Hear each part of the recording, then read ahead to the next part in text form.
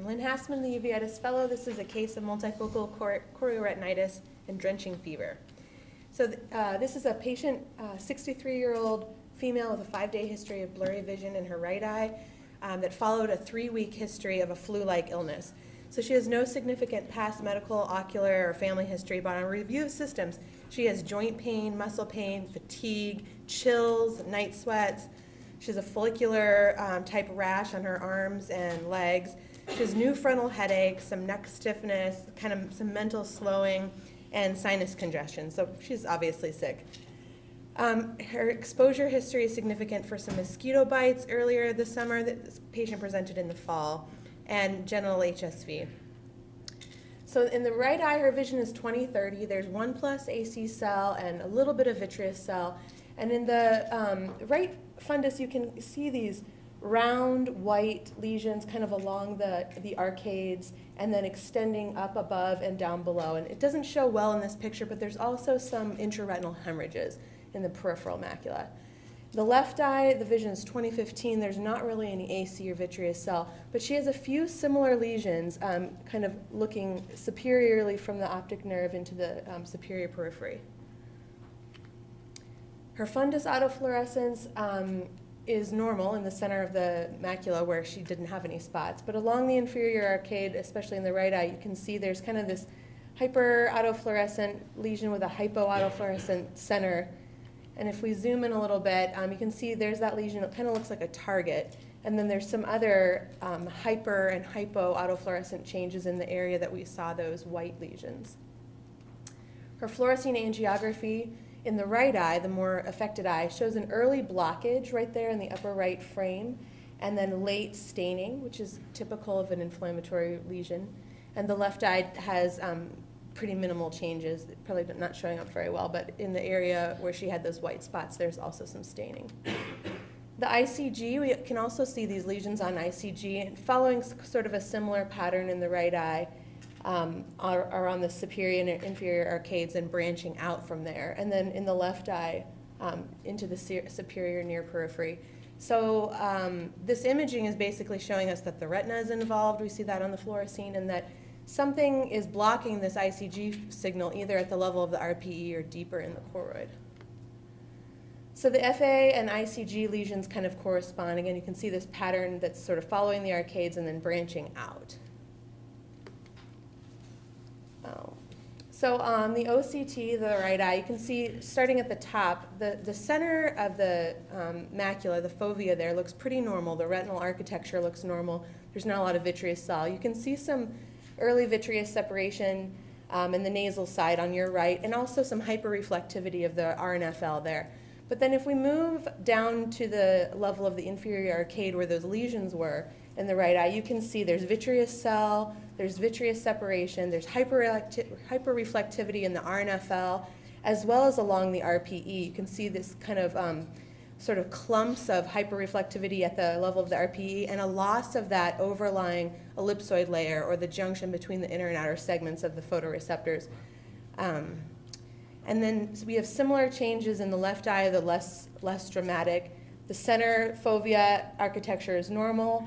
And then looking kind of superiorly in the left eye in this, in this lower picture, you see some vitreous cell and RNFL hyperreflectivity. So the differential diagnosis for this patient, based on that characteristic appearance of the lesions, sorry to everybody who took boards yesterday and this presentation's coming later, but this is West Nile virus, probably. Um, but we have we always include some other infectious etiologies in our differential, particularly tuberculosis and syphilis. They can look a lot of different ways. Sarcoidosis would be an inflammatory process that could present in a, in a multitude of ways, and then um, inflammatory white dot syndromes uh, including MEWDS, PIC, multifocal choroiditis with panuveitis, acute posterior multifocal placoid pigment epitheliopathy, or AMPI, um, and AZOOR. So her laboratory workup showed positive IgM and IgG for West Nile virus and negative um, workup otherwise. She had a mild thrombocytopenia, probably going along with her acute febrile illness. So West Nile virus clinical infection, the incubation period for this disease is 2 to 14 days, and it presents in patients in a variety of ways. The majority of people, 70 to 80%, are totally asymptomatic. There's a mild febrile illness in about 20 to 30%, and then there's neurologic disease in 1%. And neurologic disease is associated with a slightly older demographic, 40s to 60s, not really elderly by any means, but um, younger people are more likely to be asymptomatic. And then advanced stage and diabetes has also been associated with a more severe neurologic disease. So what do we see in the eye? 40 to 50% of patients with neurologic disease get a chorioretinitis. And we see these classic targetoid lesions in multiple stages of healing. That's pretty typical for um, West Nile virus. In more severe cases, we can see retinal vasculitis and ischemia. So we can see um, intraretinal hemorrhages, which are a sign of um, ischemia, um, definitely vasculitis, and even a neuroretinitis have been described. So West Nile virus is a flavivirus. It's a single-stranded, small RNA virus. Um, what we know, so this, the diagram on your right is sort of what we know from animal models, but basically the virions are transmitted through the bite of a mosquito and picked up. Um, they infect and are, and are also just endocytosed by um, the local antigen presenting cells, so um, tissue resident macrophages, Langerhans cells, and um, other antigen presenting cells, brought to the draining lymph nodes where they actually infect macrophages. The macrophages bring the virus to the spleen and then um, it's disseminated through the blood. So the virus has multiple proposed mechanisms of getting into the central nervous system. It can either go sort of as a Trojan horse inside a macrophage, which you can kind of see in this in the bottom here, um, through the blood-brain barrier, or actually the inflammation alone can cause some blood-brain barrier permeability, and the virus can get in that way. And then the virus can transport through the central nervous system via anterograde and retrograde um, axonal transmission. Um, so interestingly, we know from culture, in vitro culture, that it replicates in RPE cells and exits the cells by exocytosis, which is significant because it doesn't destroy the cells like herpes virus, just causes a total necrosis of the cells it infects. This virus actually gets out of the cell and leaves the cell intact. So some pathophysiology questions. Excuse me. Does the virus enter the eye from the CNS via the optic nerve and the neurofiber layer? or does the, does the virus enter via a compromised blood retinal barrier and then retrograde transport into the central nervous system? So we saw that it was um, more associated with diabetes and it's been associated also with diabetic retinopathy, which, um, which involves a compromise of the blood retinal barrier. Um, but potentially the virus itself, as has been shown in mouse models, could cause an endotheliopathy and this, this diabetic retinopathy-like picture and um, get into the, thanks, into the uh, retina um, through, through its own breakdown of the blood retinal barrier. So um, can we learn anything from this patient? Um, so this patient, so just kind of zooming in on the present, on presentation, this patient, we, we saw these white spots we saw some uh, changes on the autofluorescence. And if we kind of zoom in, uh, looking at OCT to kind of find out what's involved, this area doesn't really have much going on in autofluorescence, but you see some subtle changes um, in the, at the level of the RPE. And this other lesion, we also see some subtle changes at the RPE. Um, so then a week later, dramatic increase in um, the number of white spots and in the autofluorescence, and also in the disruption of the RPE and um, overlying outer retina sometimes and um, the photoreceptor layer.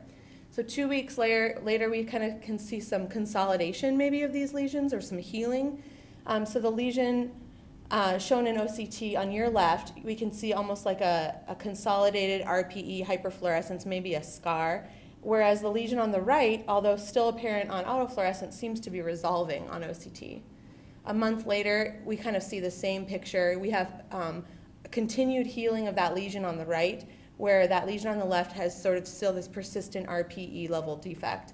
And then two months later, it's the same thing. So some of these, le these lesions are involving the RPE, as we know from tissue culture, um, and some of them are um, leaving a persistent RPE defect or a scar, and some of them are, are healing completely or nearly completely. So there's, um, so that's some evidence for RPE involvement. Others have proposed that this is actually this is actually an infection that's coming through the retinal neurofiber layer, and the reason they think that is because those lesions seem to not be following the um, arcades, but actually the neurofiber layer. So that's um, this group, um, Khairallah, they kind of show this map of the neurofiber layer, and that in their patient, the lesions seem to actually track the neurofiber layer rather than uh, along the arcade. So we actually kind of saw this too, if you recall. We do have lesions along the arcades, but then they're tracking um, actually along kind of the neurofiber layer path in both eyes.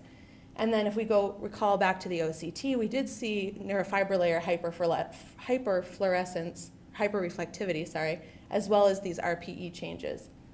Um, so interestingly, in, interesting, um, the, the fact that we see the lesion along um, a retinal neurofiber layer track, but showing up on ICG, suggests or tells us that the, the primary defect, as we saw in OCT, is really not that um, retinal neurofiber layer, but actually the level of the RPE.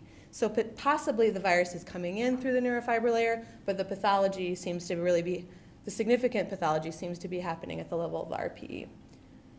So conclusion, ophthalmic observations can be important in elucidating viral pathogenesis.